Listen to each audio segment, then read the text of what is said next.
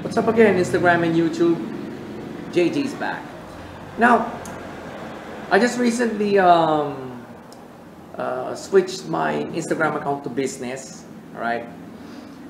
In order to gain more insights to my profile and my uh, on each post that I on each post that I put up.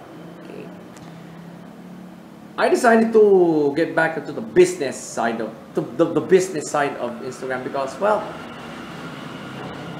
I know what to prioritize now.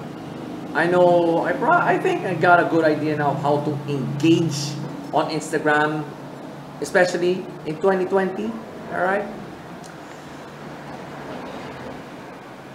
But rest assured, I am not going to use schedulers anymore.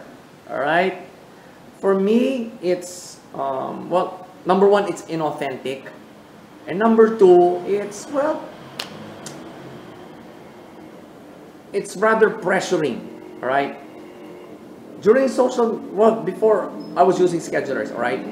So during social media planning week, I'm always pressured to put up at least four posts in a month. All right, four posts, one post a week. So the pressures, so the pressure is always on. Right, the pressure is always on. Now, after watching, um, after watching Gary Vaynerchuk's mega post on YouTube, it validated what I uh, what I did um, a few weeks, a few weeks before that not to decide on, not to use schedulers anymore.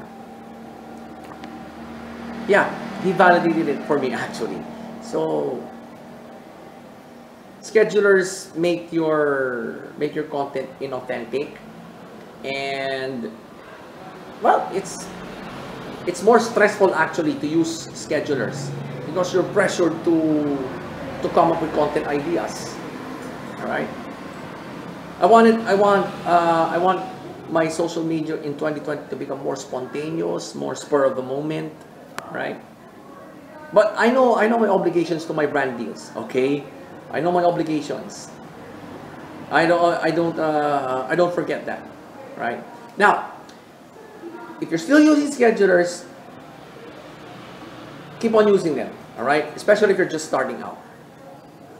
Now, right now, I think schedulers will be useful if you're if you got several brand deals uh, going for you. All right, schedulers are are a uh, are a fantastic way to to streamline to streamline your brand deals because well, for example, I'm into a brand my hand sanitizer brand deal. Uh, Spartan Hands on little the Little Warrior brand, brand deal, I'm required to post three times a week.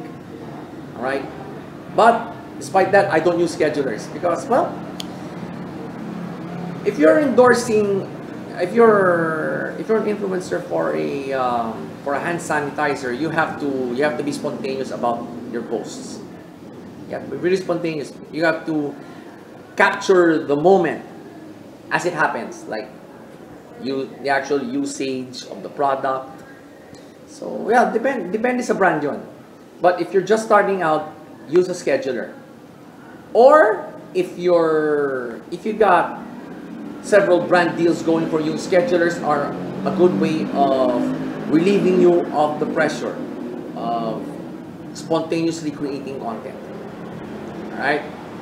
So for me, I don't use schedulers anymore and um, because I right now I believe that not using schedulers will be beneficial for my Instagram account okay because it's now it's now switched to business.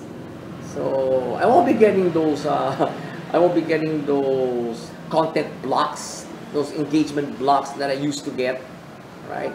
If you haven't uh, if you haven't uh, what you call this I've already done a video on that probably oh right here the phone tab the very first entry of the phone tab diaries. I think that was that was about that was about the content block right?